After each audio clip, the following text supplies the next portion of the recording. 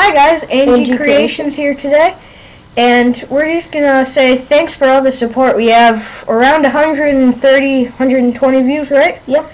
And yeah, so I'm Griffin and he's Andrew, and just thanks for all the support, guys. Bye. I love you.